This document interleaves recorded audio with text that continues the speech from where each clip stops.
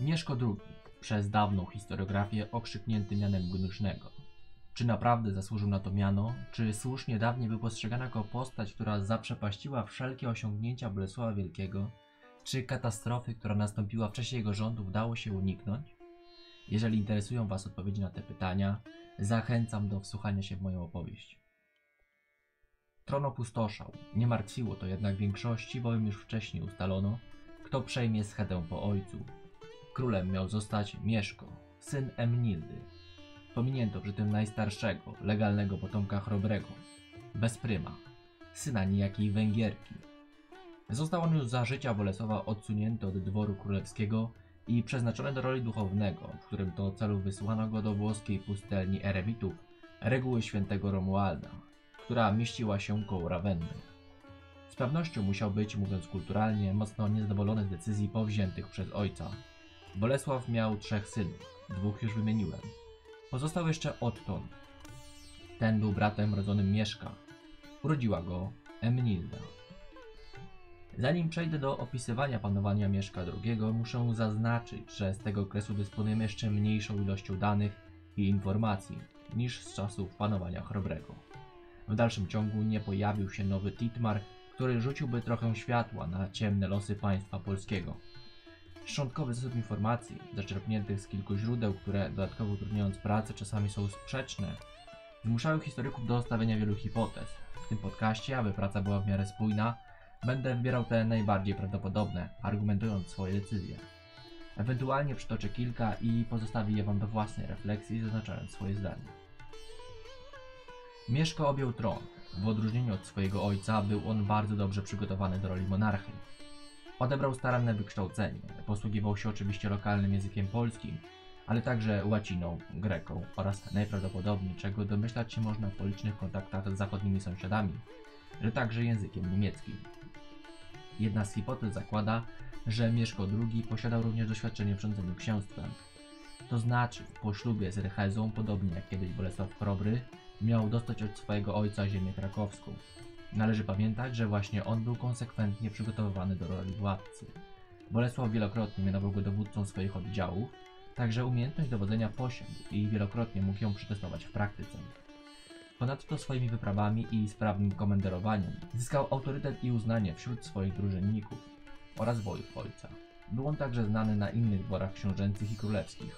Odgrywał rolę dyplomaty z polecenia ojca, Między innymi on był odpowiedzialny za ustalenie warunków pokoju merseburskiego.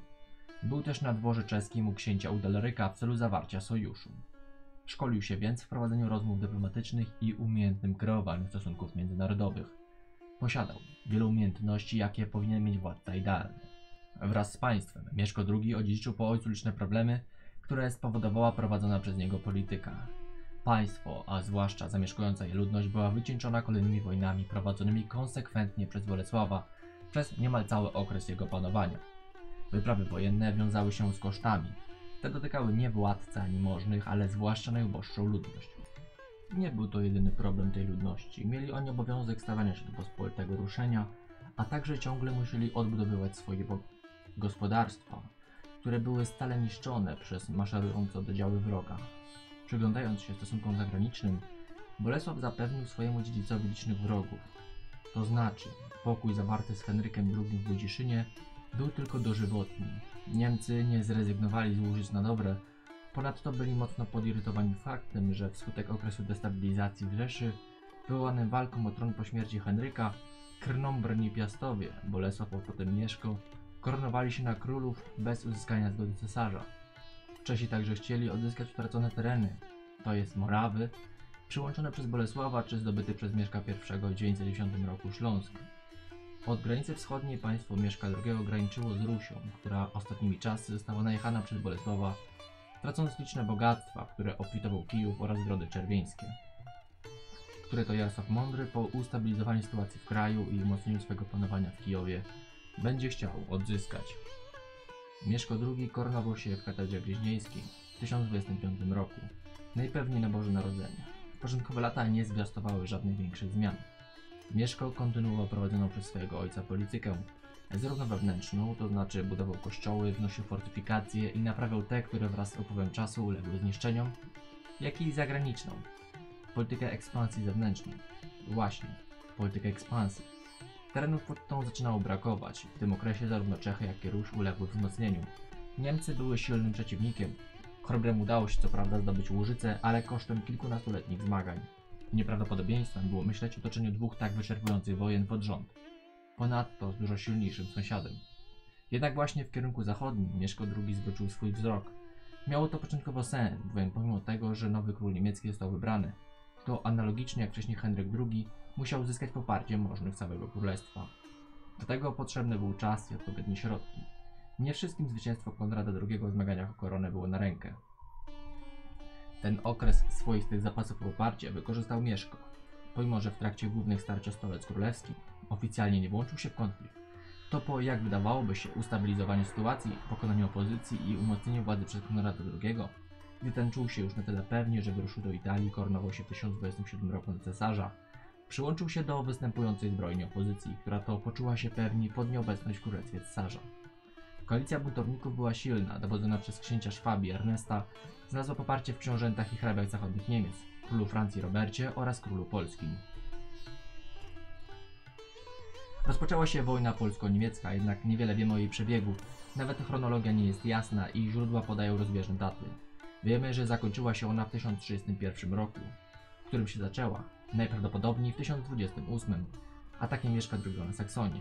Zapewne gdyby dysponował on dzisiejszymi możliwościami komunikacyjnymi, wcale by się na to wyprawę nie zdecydował, bowiem zakładamy, że była to akcja, która miała odciągnąć część sił cesarskich, a tym samym wspomóc buntowników.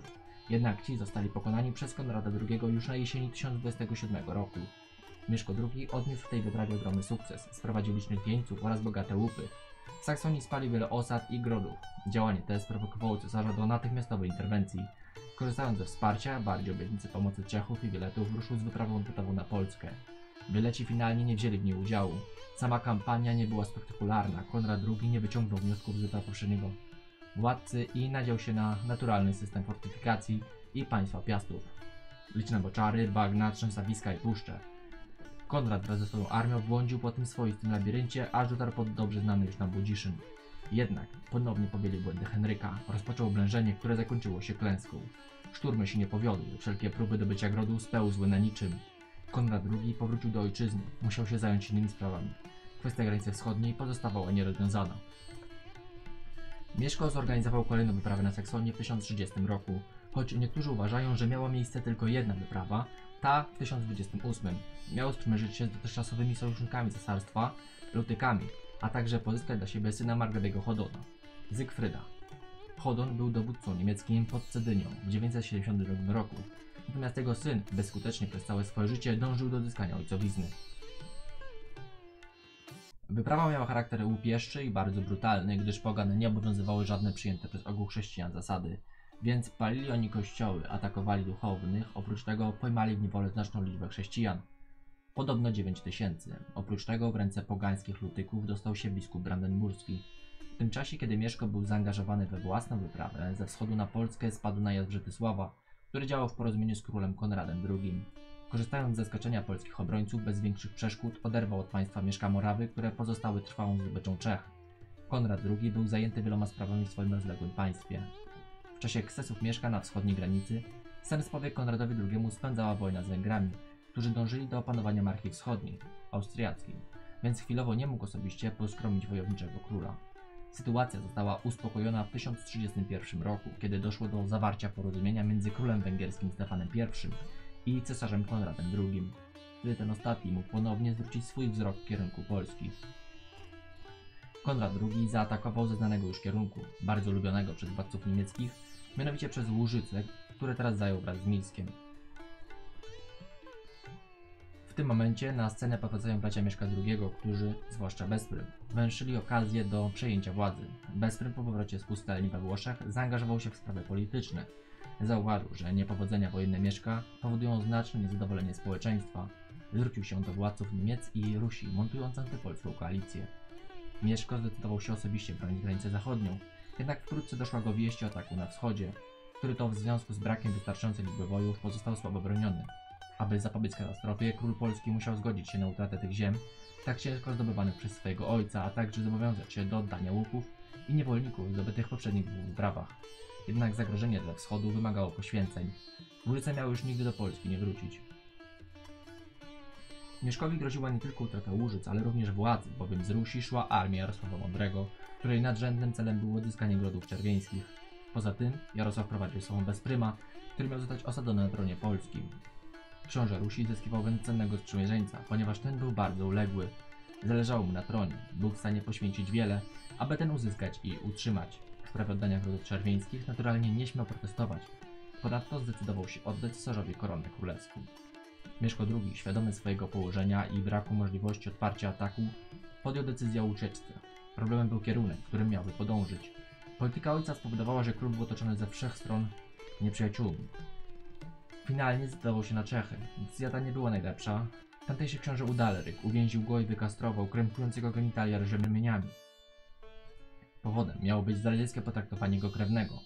Dokładniej oślepienie Bolesława Rudego przez Bolesława Chrobrego, kiedy ten przybył na rozmowy do Krakowa. Wróćmy jednak do sytuacji w Polsce. Władzę przejął tam Bezprym. Ten był na tyle rozsądny, aby odesłać do Niemiec Rychezę. Była ona przecież wysokiego urodzenia, powiązana z związkami krwi rzeszą arystokracji niemieckiej. To jej powierzył misję odwiezienia insygniów. Rycheza jednak dożywotnio zachowała tytuł i honory królewskie. Pierworodny Chrobrego nie szył się chyba poparciem Polaków, gdyż już po kilku miesiącach został zamordowany. Ponadto z poduszczenia jego braci, Ottona i Mieszka II. Wydaje się to prawdopodobne, kierując się zasadą is fecit sui prodest, czyli ten uczynił, komu przyniosło to korzyść. Wskazywałoby to, że Mieszko pomimo uwięzienia był w stanie kontaktować się ze swoimi stronnikami. Po śmierci Bezpryma Udaleryk wypuścił Mieszka z więzienia. Ten natychmiast podjął się próby odzyskania królestwa. Nawiązał kontakty z cesarzem, z którym spotkał się w lipcu 1302 roku w Merseburgu. Tam Konrad II miał decydować o sprawie polskiej. Rozmowy okazały się skuteczne. Konrad zdecydował, że Mieszko po ukorzeniu i zrzeknięciu się korony ponownie otrzyma władzę w Polsce, jednak jedynie jako książę zwierzchni. Całość królestwa miała zostać podzielona na trzy części, którymi władać mieli Mieszko, Otton i Dytryk. Dytryka uważa się za potomka któregoś z synów Mieszka I z księżniczki Ody, Mieszka lub Lamberta. Przypuszczalnie Mieszko miał otrzymać Małopolskę i Mazowsze, Otto Śląsk, a Dytryk Wielkopolskę. Sytuacja była daleko od ustabilizowanej. Już rok później zmarł Otton. Sytuację wykorzystał Mieszko, który najprawdopodobniej wypędził Dytryka i zjednoczył królestwo. Nie dane było mu się jednak nacieszyć zwycięstwem, gdyż już w 1034 roku zmarł. Okoliczności śmierci Mieszka II, jak i lata je następujące są spowite mrokiem i ciemnościami nie mniejszymi niż te, które można spotkać w najgłębszych jaskiniach. Wiązkę światła na te lata rzucają nieliczne roczniki, jednak w dużej części działamy w sferze domysłów. Wiemy na pewno, że pomimo kastracji Mieszka w Czechach miał on syna, a może nawet dwóch. Tak, dwóch. Ponieważ w Kronice Wielkopolskiej napisanej u schyłku XIV wieku pojawia się wzmianka o synu Mieszka Bolesławie. Bolesławie zapomnianym, który miał być jego pierworodnym. W dalszej historiografii wiadomość o posłaniu młodszego syna Kazimierza do klasztoru była przyjmowana jako dowód istnienia Bolesława.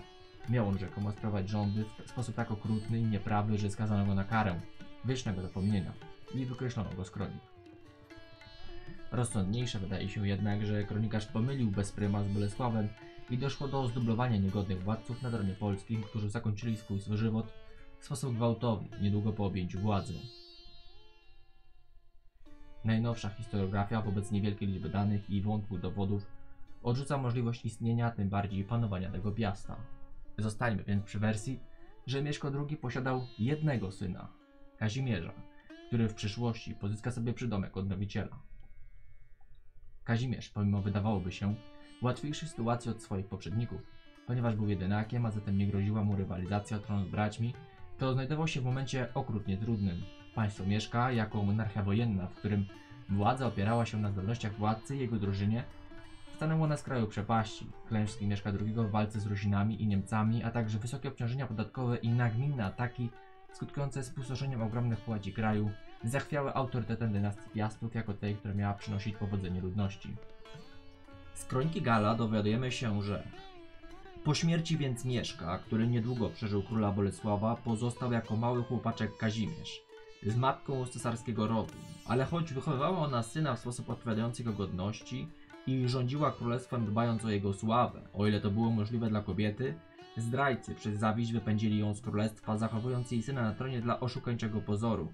A skoro on sam dorósł i objął rządy, niegodziwcy z obawy by nie mścił się za krzywdy matki, Powstali przeciw niemu i zmusili go do udania się na Węgry. W owym zaś czasie rządził Węgrami święty Stefan i wtedy dopiero nawracał je na wiarę chrześcijańską, prośbą i groźbą. Z Czechami, najzawziętszymi nieprzyjaciółmi Polaków, utrzymywał przyjaźń i pokój. To też jak długo żył. Ze względu na nich nie puścił Kazimierza na wolność, gdy zaś zszedł z tego świata. Tron węgierski objął Piotr Wenecjanin. Piotr ów, proszony również przez Czechów, by Kazimierza nie puszczał. Jeżeli chce zachować z nimi przyjaźń odziedziczoną po przodkach, miał odpowiedzieć z królewską godnością. Jeśli by jakie stare prawo przepisywało, że król Węgier ma być strażnikiem więziennym u króla czeskiego, uczynię czego żądacie. A odpowiedziawszy tak z oburzeniem poselstwu Czechów i mało wagi przywiązując do ich przyjaźni lub nieprzyjaźni, dał Kazimierzowi sto koni i tyluż rycerzy, którzy za nim poszli i z honorami wypuścił go, zaopatrzywszy w oręż i szaty i nie wzbraniał mu udać się dokądkolwiek by chciał. Kazimierz zaś, podziękowawszy mu za to, ruszył w drogę i niebawem dotarł do ziemi niemieckiej, gdzie przez pewien czas, nie wiem jak długi, bawił matki u cesarza. Lecz pozyskał tam uznanie w czynach rycerskich jako nieulękły rycerz.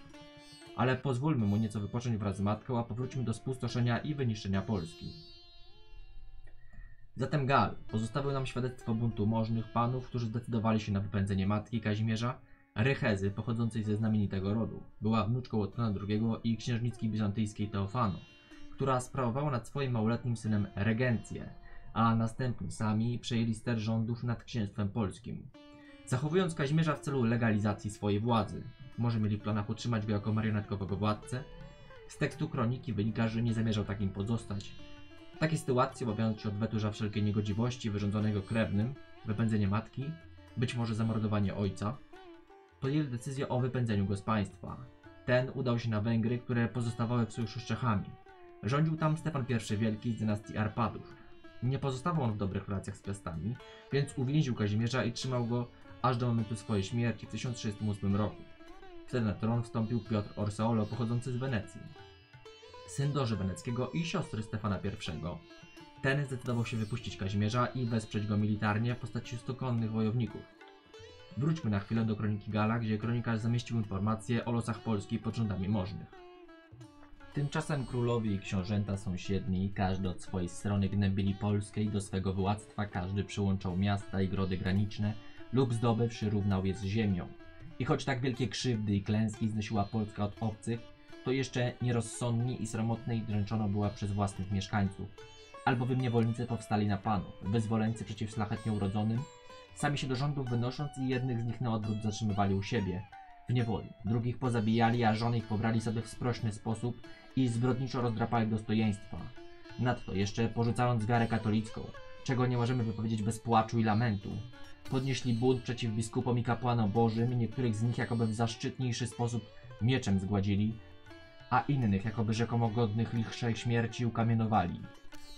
W końcu zaś, zarówno od obcych, jak i od własnych mieszkańców, Polska doznała takiego spustoszenia, że w zupełności niemal obraną została z bogactw i ludzi. Wtedy co Czesi zniszczyli Gniezno i Poznań i zabrali ciało świętego Wojciecha. Ci zaś, co uszli z rąk wrogów lub którzy uciekali przed buntem swoich poddanych, uchodzili za rzekę Wisłę na Mazowsze. A wspomniane miasta tak długo pozostały w oszczeniu, że w kościele świętego Wojciecha Męczennika i świętego Piotra Apostoła dzikie zwierzęta założyły swe legowiska. Możni zatem, prawdopodobnie wywodząc jeszcze z czasów plemiennych, kierując się partykularyzmami bądź to osobistymi, bądź to plemiennymi, nie byli w stanie utrzymać jedności państwa. Każdy z panów chciał uszknąć coś dla siebie. Wydawałoby się, że monarcha Piastów na dobre się rozpadła.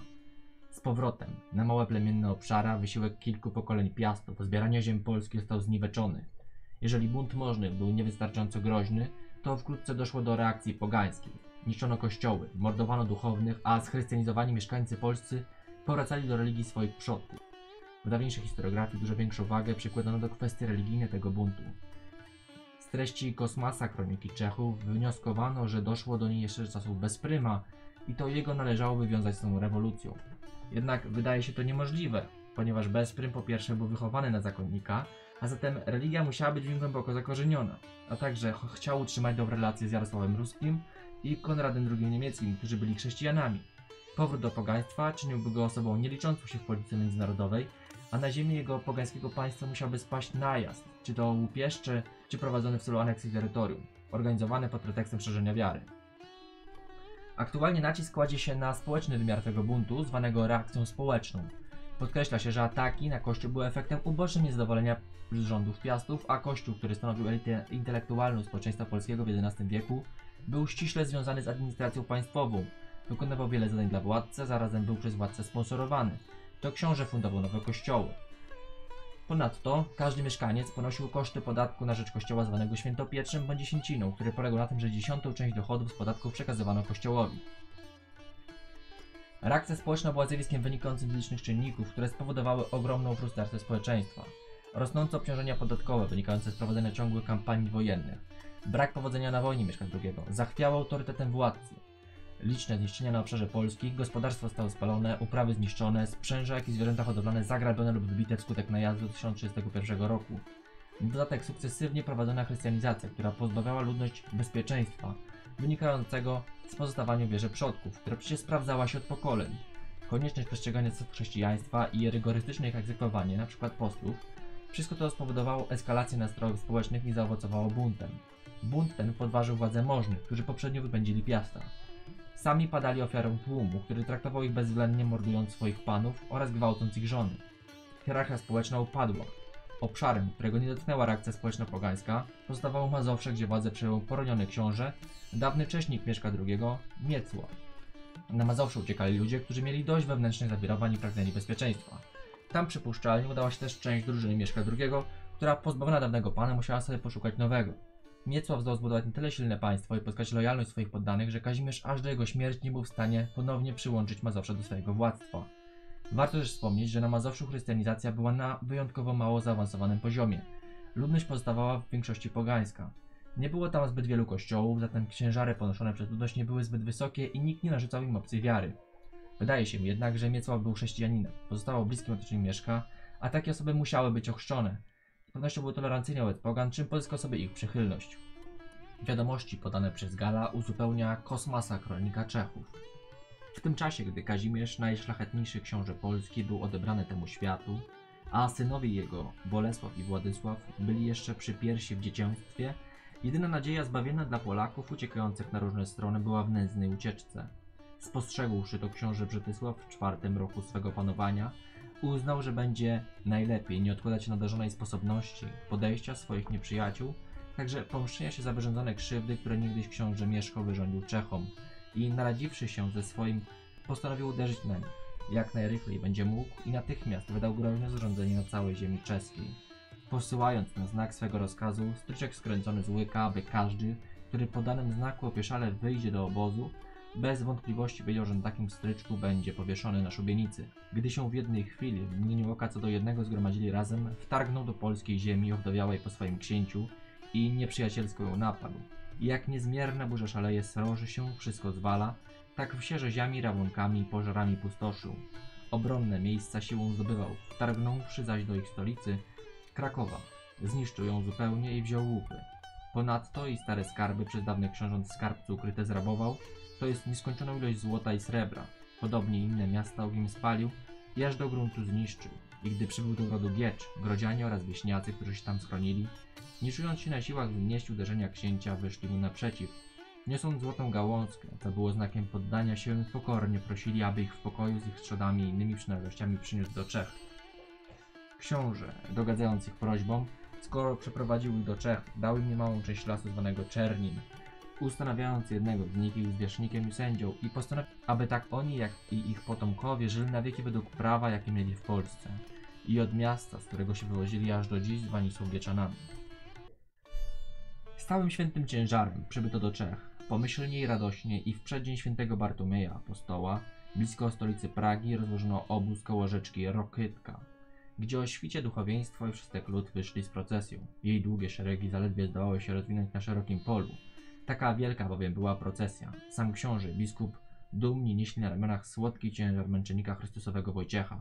Potem opaci pospołu nieśli szczątki pięciu braci. Następnie archipresbyterzy radowali się brzemieniem arcybiskupa Gaudentego. Za nimi postępowało dwunastu wybranych kapłanów z trudem dźwigających ciężar złotego krucyfiksu. Albowiem książę Mieszko trzy razy sam siebie ważył tym złotem. Na piątym miejscu niesiono trzy ciężkie płyty ze złota, które były położone koło ołtarza, gdzie spoczywało święte ciało. Największa płyta, 5 łokci długa i 10 dłoni szeroka, była bardzo ozdobiona drogimi kamieniami i kryształowymi bursztynami. Na skraju której ten wiersz był napisany. Waży to dzieło aż 300 grzywien złota. Na końcu więcej niż na 100 wozach. Olbrzymie wieziono dzwony i wszystek skarb Polski. Za nim postępował niezliczony tłum znakomitych mężów z rękami skrępowanymi żelaznymi pętami, zdławionych obręczami na szyję, między którymi był prowadzony niestety nieszczęśliwie pojmany mój brat w godności duchowej, starszy urzędem. Polska, zniszczona przez swoich, dostała się teraz w ręce obcych, Czechów, którzy pod wodzą księcia Brzytysława najechali ją w 1309 roku i złupili doszczętnie.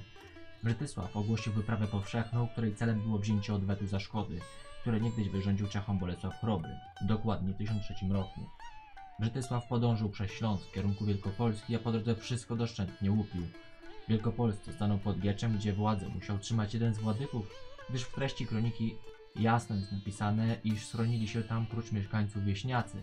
O obronę się nie podjęto wyłącznie z braku sił, zatem ktoś musiał grodem zarządzać, skoro nie popadł on w ruinę wskutek łupieszczych działań ludu w trakcie reakcji społecznej. Gieczanie poddali się, za co otrzymali prawo do przesiedlenia się na tereny Czech. Nie w charakterze niewolników, a wolnej ludności. Otrzymali własną wieś, w której obowiązywało prawo polskie. Stamtąd Brzytysław ruszył w kierunku Gniezna, stolicy państwa Piastów. Tam najeźdźcy się obłowili, gdyż miasto to, zwłaszcza katedra gnieźnieńska, obfitowała w przedmioty ociekające złotem. W ręce Czechów dostały się bezcenne relikwie świętego Wojciecha i ciało jego brata, pierwszego arcybiskupa gnieźnieńskiego Radzima Gaudentego, a także relikwie pięciu braci mięczenników. Pozbawienie katedry gnieźnieńskiej relikii kwestionowało zasadność istnienia arcybiskupstwa w Polsce. Wielość bogactw, które dostały się w ręce Brzytysława opisuje kosmos.